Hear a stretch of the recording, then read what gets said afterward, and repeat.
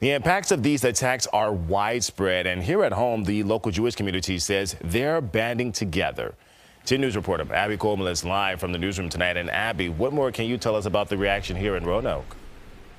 In the middle of the shock and the heartbreak, the Jewish community tells me they're relying on each other and their faith to see them through.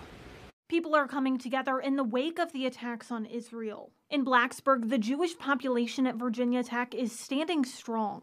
Noah Benita is the president of Hokies for Israel and tells me she was up through the night. Initially, I, of course, was scared because I have family in Israel. So I ended up communicating with them all night. I was up until 5 a.m., making sure that they are safe.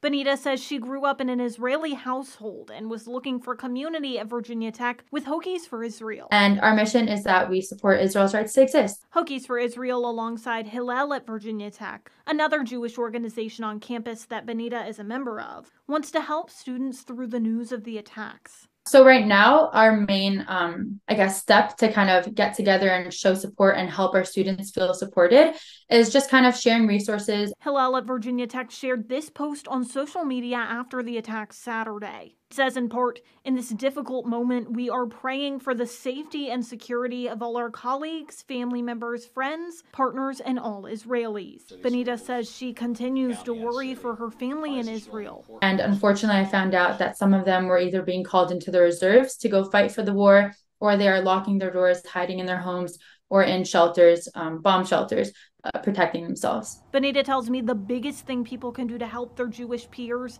is to be educated. Um, encouraging them to stand up for Israel and, you know, make that statement that they are supporting Israel. And then another one, in my opinion, would be to make sure that they are spreading the information.